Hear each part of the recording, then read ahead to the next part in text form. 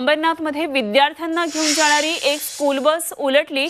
Green city संकुलात पावणे सात वाजताची ही घटना आहे. या बसमध्ये सतरा ते अठरा विद्यार्थी होते. मात्र सुदैवानं यामध्ये कुणालाही फारशी इजा झालेली नाहीये. विद्यार्थ्यांना बाहेर काढून घरी पाठवल्याची माहिती पोलिसांनी दिलेली आहे. आणि बस बाजूला करण्याचं काम सध्या घटनास्थळावर सुरू आहे. अंबरनाथमधली ही घटना आहे.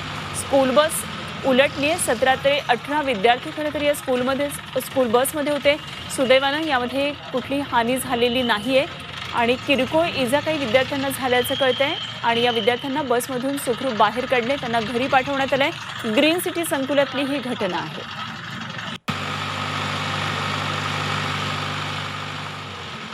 छत्रपतींचा विचार म्हणजे